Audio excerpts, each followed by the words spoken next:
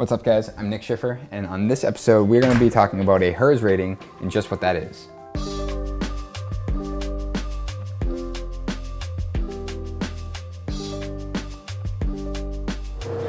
What's going on, Ross? Nick, how you doing? Good, how are you? Me shut this down. How we doing? Great.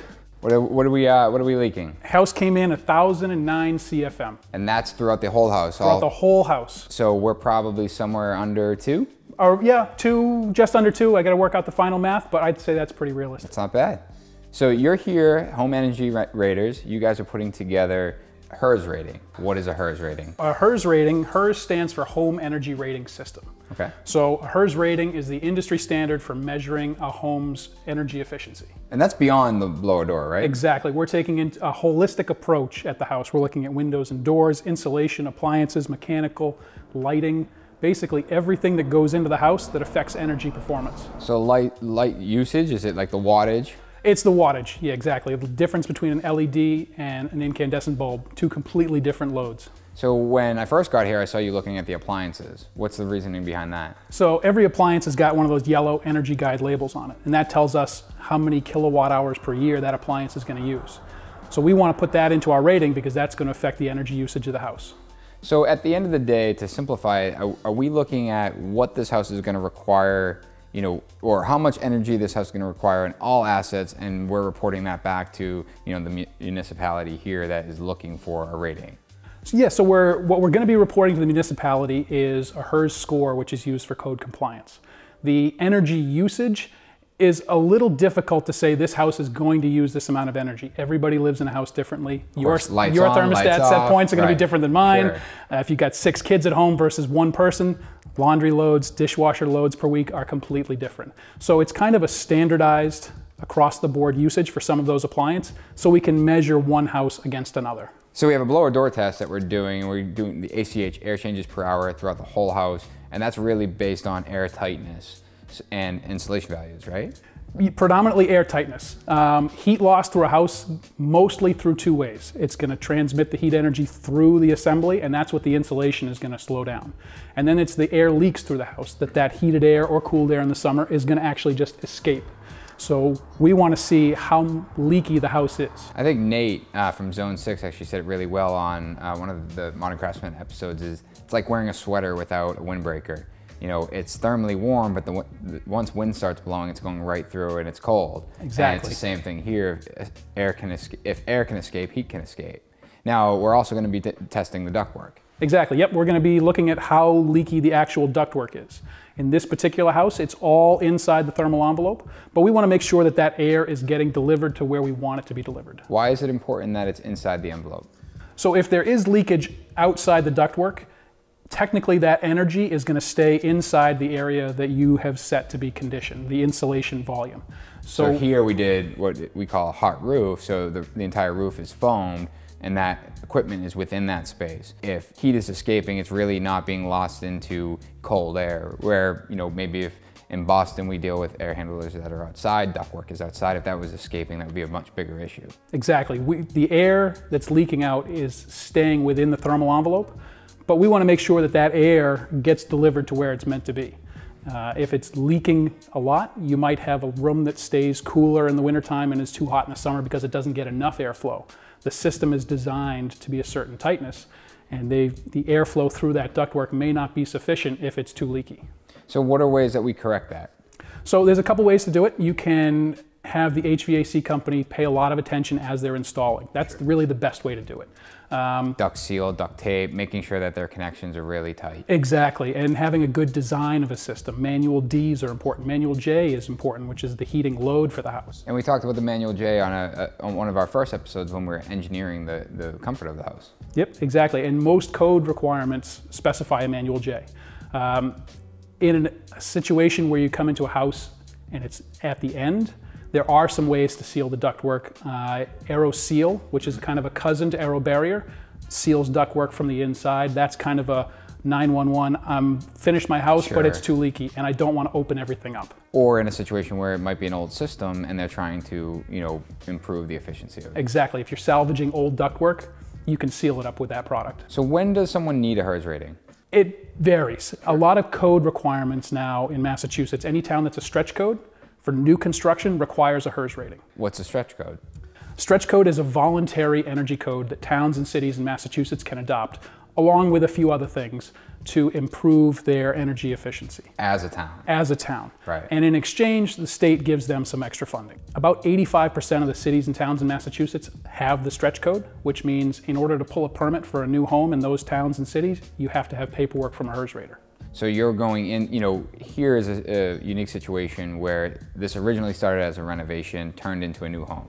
So we're actually doing this HERS rating at the very end of the job, where normally you guys would be part of that process all the way throughout, right? Exactly. So we would give you paperwork to pull your permit based on the plans and specifications of what you're planning on doing with the home. Sure. Then we would come in pretty much as the ductwork is being finished, test that, make sure it complies. We'd also look at the insulation, document what's there, grade the insulation too. How well was it installed? Sure. Um, and then after we do that, we come back at the end right about now and we do our blower door test. We test the ventilation.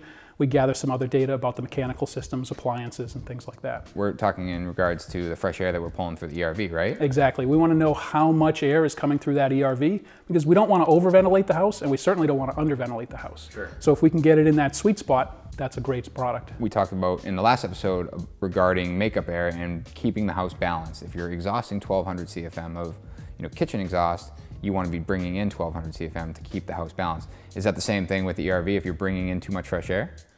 Not quite the same balancing issue. Uh, you can ventilate the house with an exhaust only or an intake only, Where the ERV is both. It's, where the ERV is both. And it's also exchanging temperature across those two airstreams without coming into contact. So there's multiple ways to meet the ventilation requirements set forth in the building code. ERVs and HRVs are the best because they do balance the air. You're not having a pressure differential and they filter the air. There's a lot of other methods that we're just bringing in air unfiltered. We don't know what's in the air. We're not controlling it for temperature or humidity. You made a comment earlier uh, off camera, and which was really interesting. I wish I wish we hit it on our last episode. Is how an ERV and an HRV is different, and we talk about the technical side of it. Transfer ERV can transfer humidity, but I never asked the question as to how. And you made you you made the reference that the filters are different. Sure, the core where the heat exchange happens on an HRV, which is only transferring the heat load, that core is more of a, a corrugated plastic material usually. In an ERV, where So it's impermeable. Exactly. Where the ERV, where the moisture is being transferred, it's more of a paper core, where that water can absorb into the paper and migrate to the other stream. With that being said, what's the negative side of overventilating? It's difficult to put a holistic approach on it. You're going to use more energy. You're going to uh, take out more heated air in the wintertime, more cooled air in the summertime. Um, there's some other parts of it. You really want to talk to your HVAC contractor and find out what the requirements are for your house. Every house is going to be a little different. So you find out what the requirements are for that house and design the system to meet those requirements. How are we doing for our HERS rating? It looks good. Everything that I've seen fits well within the tolerances where we need to be to comply with the energy code and probably be pretty significantly below that. That's great. In Massachusetts, the target is 55. Okay. Um, her score is like golf, lower is better. Sure. So below 55 is great. Um, above 55, not so great. Um, then we usually have to find some other way to get it below.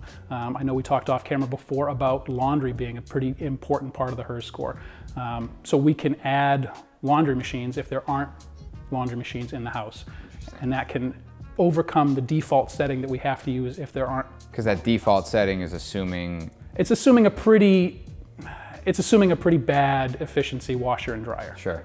And then if you have something more efficient, bringing that score down. Pretty much anything you can buy today is going to improve that score. So this is probably more opinionated, but based on you know doing these ratings kind of on a regular basis, where do you see construction falling right now? Are, are, are a lot of them being you know just under 55, or are we working towards a much lower score? So the trend has been to meet code, and a lot of guys are meeting code without a problem. Sure. We are seeing a trend to start to skew below code, which is great because we want to be more efficient. So we Below are code seeing, number-wise. Number-wise, so we're seeing lower scores. Um, there's usually a segment of the building industry that's shooting for those really low scores, people in the 40s, um, without solar.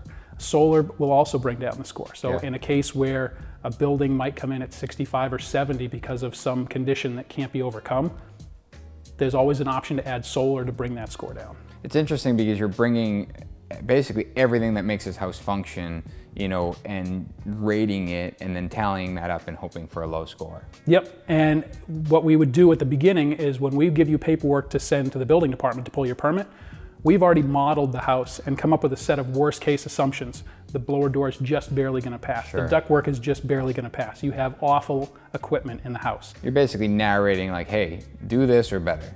Do this or better. And that way we're pretty confident that as long as you do that or better, you'll be you know, below that 55 where you wanna be. Now, the last thing I want to touch on is rebates because you know as you become more energy efficient, there's rebates out there that allow you to kind of offset some of these costs. Absolutely. Um, Mass Save, which is a, a, group of utility companies, offer what they call pay for savings. So the more energy efficient your house is, in the new construction program, they have a special rebate where it's a curve and you can have your house anywhere along that curve and the more efficient it is, the more money they're gonna give you. Every state is gonna have different rebate programs. So we'd recommend, you know, getting in touch with your local HERS rater or energy consultant. And as always, guys, we appreciate you watching. Stay tuned for a future episode. Ross, where, where can they find you guys? So our company's Home Energy Raters, energycodehelp.com. Uh, you guys can reach out and we can answer questions if you have them. Uh, but this has been great. Thanks, awesome. Nick. Ross, thank you so much. As always, NS Builders on Instagram. Make sure you hit the subscribe button and turn on notifications. See you next time.